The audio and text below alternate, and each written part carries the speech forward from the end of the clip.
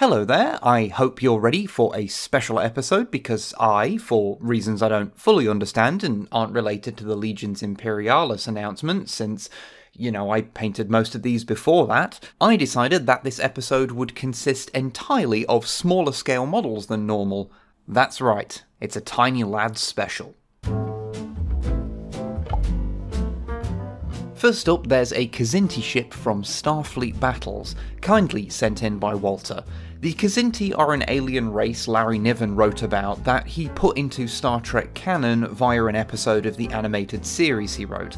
Normally, these ships are presented as having a red colour scheme, but ever the hipster, I decided to paint this one in the scheme that their animated series ship was shown in instead.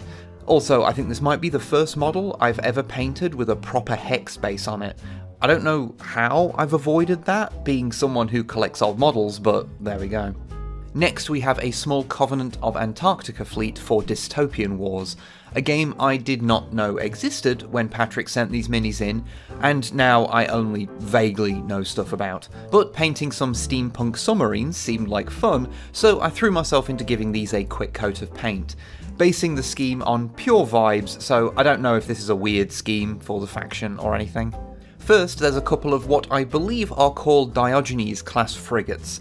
You can probably tell the scheme is like 90% just a Leadbelcher dry brush over black primer, but I think it works really well for an ironclad look, especially at this scale.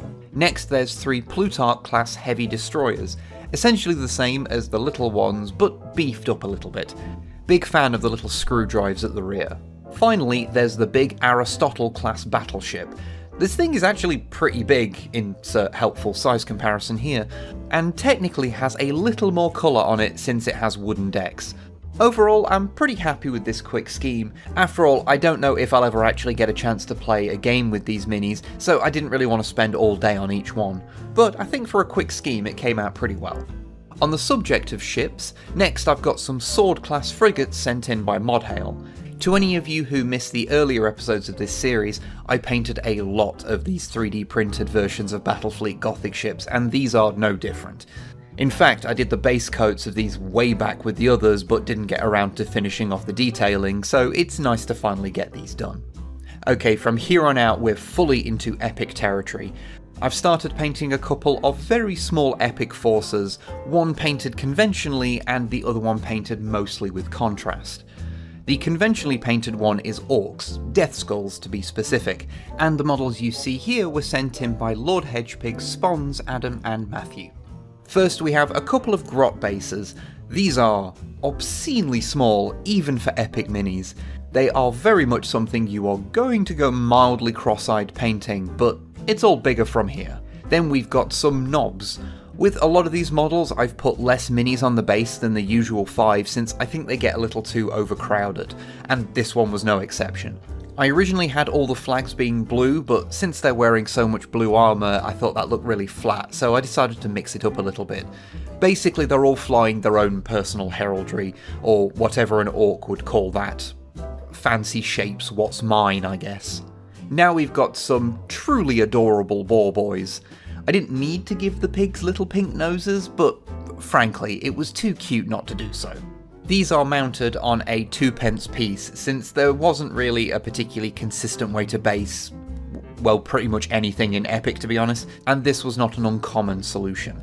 Then there's the Dreadnought, also on a two pence piece, which is from a little bit later than the other epic stuff I've been painting here, and it's also the only metal model that I've painted here today apart from the Kzinti ship, which does explain the lovely amount of detail on this thing. Up next is a couple of battle wagons. The first is well, an actual battle wagon, one of the old plastic ones, I think it's from the 1991 Space Marine box set, which I feel took a paint job remarkably well considering how simple the sculpt is. The second one I made from a damaged Land Raider and so has some of the tiniest custom work I've ever done. I'm particularly proud of the new front end that is entirely scratch built apart from the little grill poking out. Finally for the orcs is a stomper, which has a ton of fun little details going on, like the little tiled roof on the back, and is probably the closest thing to a regular Warhammer model I've painted here, since it's, you know, a bipedal thing and it's nearly the right height. Now we've got those contrast painted Marines, who I decided to paint as Sons of Medusa since I've always liked the scheme and striking Scorpion Green seemed like it would be perfect for a particularly vibrant version of them. These models were sent in by Adam, Jeremy, and I'm sorry, I don't know who sent in the Contemptor. If it's you, please yell at me in the comments and I'll add you to the description. As I mentioned before, we foolishly did not keep a list of exactly who sent what, and occasionally it really bites me in the arse. Sorry. The infantry here is sadly a little ropey since they were already primed and I wasn't sure how much I fancied trying to strip models that were only a few millimeters tall.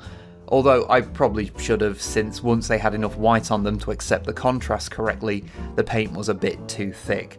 The small size means you don't really have the same kind of tolerances as you do with bigger scales. Not that you'd notice on the table, they're far too small, but it does bother me. My leader here is a little lonely on his base, only having two other guys to keep him company, which was done for overcrowding purposes, but I do kinda wish I'd put at least one more guy on there now. Also, yes, painting abstracted versions of the Sons of Medusa iconography on those flags was a nightmare. Thank you for asking. The vehicles feel far more successful though. A Contemptor with the teeniest tiniest purity seal on him, a Rhino and a Land Raider. I really like how these turned out and it's pretty much just the silver that wasn't done with contrast, so they were incredibly quick to do and I am really impressed by how much better the contrast paints have gotten since the first batch of them, which I wasn't super impressed with.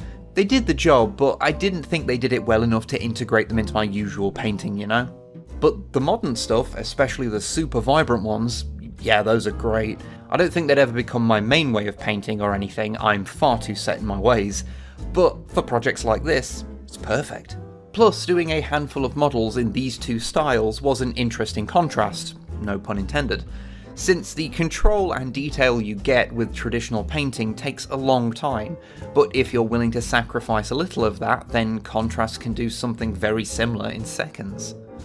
Anyway, thank you for watching this Tiny Lads special. I hope you enjoyed it since there'll no doubt be more tiny models showing up in the future too, just alongside more regularly scaled models. Big thanks to everyone who sent these models in. It's been a lot of fun to paint some stuff that's quite different from what I usually do, so I am very appreciative. Also, I do remember that the two dreads were technically sent for Snipe, but don't worry, I asked them if it was okay if I painted them, and they said it was. Honest. And with that said, I shall see you all next time.